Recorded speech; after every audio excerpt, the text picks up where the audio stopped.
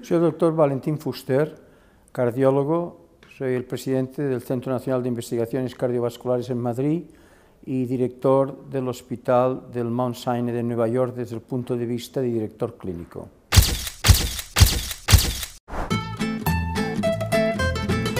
Usted se piensa que está perfecta y que se encuentra muy bien, yo le diré que no. La enfermedad cardiovascular empieza a los 15 años, es la causa de mortalidad número uno y su situación a los 50 años, la posibilidad de que usted esté ya desarrollando enfermedad cardiovascular está por encima de un 60%. Es una de las máquinas más perfectas que existen, que al menos que yo conozca.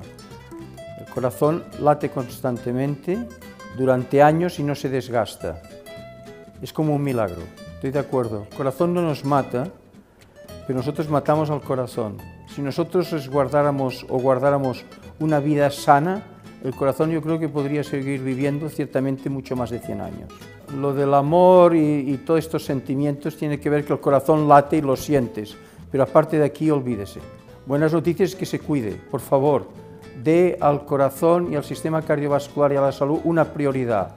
Mensaje, piense cada día durante 15 minutos cuáles son las prioridades más importantes en la vida y estoy seguro que llegará usted muy rápido a esta conclusión. La salud es una prioridad, empieza a cuidarse.